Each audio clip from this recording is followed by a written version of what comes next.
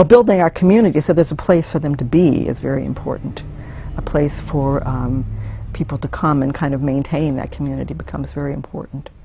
Um, so that you are building an institution of sorts, and while there are disadvantages to that, there are also huge advantages, I think, to having that kind of persistent presence, the continuing presence. March 2003, the war started, and I was uh, with Fran and, and Nancy and others uh, when we were arrested at uh, Pat Toomey's office. One of the wonderful, one of the wonderful actions was uh, the marvelous full-scale photographs of the servicemen who had, and women who had died, and we put them on on on uh, sticks and big posters with many, and walked, especially in the south side of Easton, which was a, a place where many persons were leaving from, and so on, and got into conversations with with householders as we walked along. I mean, that that was a, a, a worthwhile activity.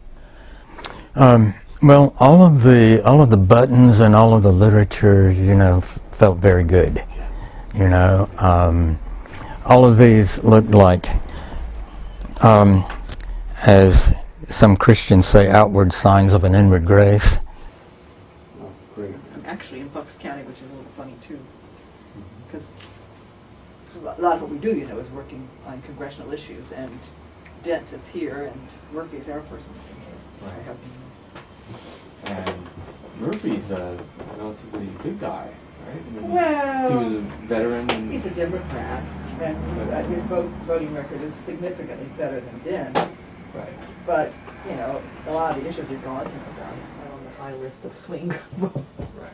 possible swing voters even in that kind of situation, so. So this is, uh, The logs are sitting in the parking lot. And Well, LEPOCO was founded in the middle of the Vietnam War in 1965.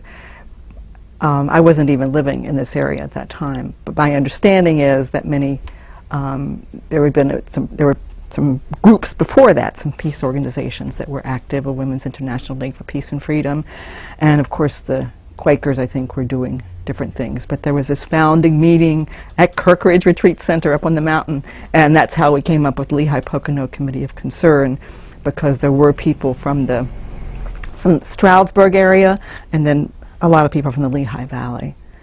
And then when the staff thing opened at LEPOCO, I decided that that's what I really wanted to do, and been doing it ever since, 1974.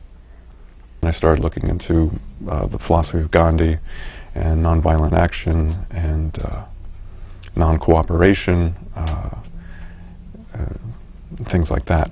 And um, less than a year later, I ran into LEPOCO at this music festival that they had an information table set up at. And uh, this was all the run up to the current Iraq war, um, which I felt was wrong. And uh, so I got more involved, and they had a film series, and that also interested me, so I started attending that, and now I kind of run that. If if I'm if I'm not um, stable inside, I can't be very effective uh, outside. And I think as I get older, it becomes even more so. Uh, I I'm less uh, aggravated by uh, some of the letters to the editor and, and so forth, and some of the um, hate, hate mongering and so forth, and thinking, oh, this this too will pass if we can just, and and, and not just in a simplistic love everybody, but uh, the fact is that um, there is enough love and attention to go around, and people just haven't found their way to it. Something that something that I try to remember is Gandhi's advice to, I think he said, be the peace that you want to see established.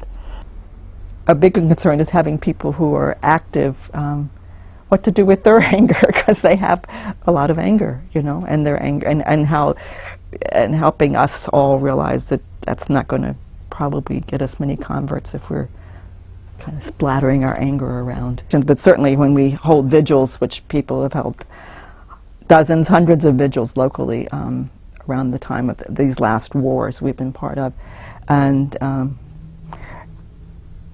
it's not happening so much now, but there are many times when people yell not very nice things at you. On Thursdays, we stand out there for about an hour, uh, peace vigil. It's nice. I mean, it's a chance to get to see some people that you don't always see. You see them at the vigil, and you get to talk to them. Um, you're taking a public stand, which um, to me now, having done this for so long, doesn't seem like that big of a deal. But uh, when I talk to some people who aren't involved in things like this, um, to stand out there for an hour sometimes seems like a great thing. Um, and to get called, you know, hippies and whatnot. It, it, it does. I guess you could say the level of enthusiasm fluctuates. Uh, the the relation of hope to discouragement fluctuates. But uh, there's a lot of support too, you know, thumbs up, and, and, and that, that's the neat thing, and that's the, when you take the long arc, uh, the long view of things, and you look at that, um, when the war first started, uh, lots of middle fingers and uh, thumbs down, that sort of thing.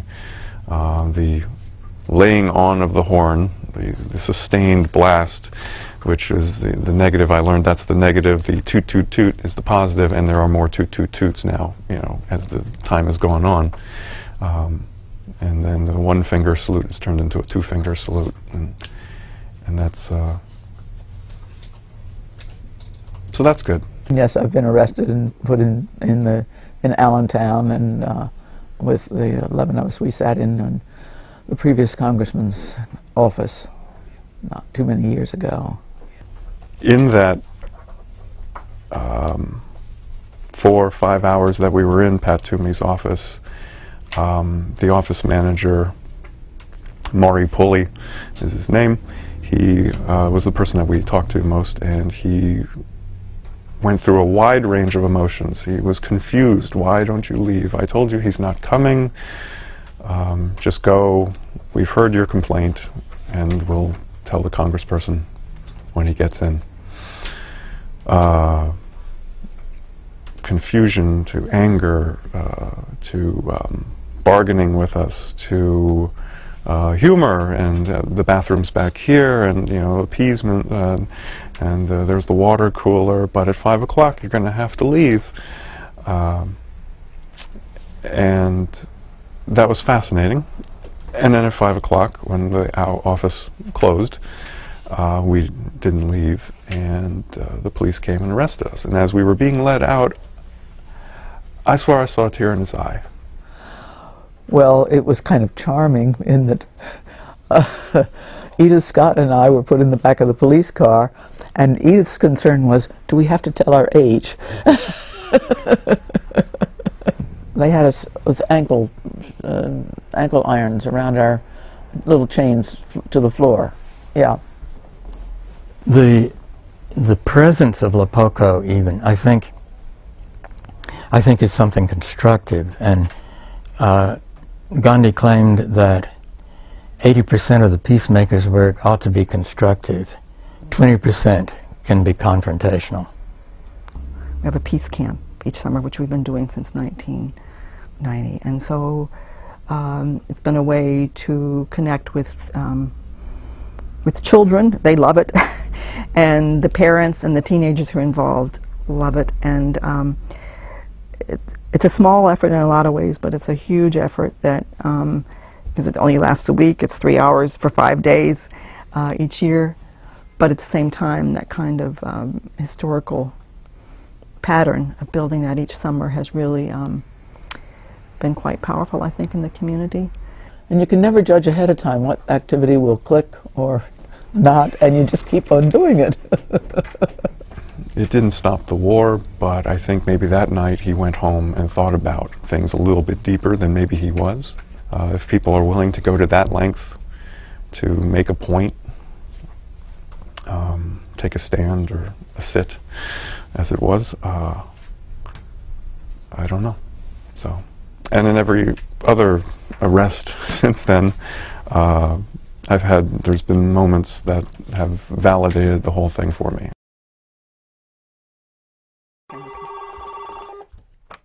Hello, LEPOCO.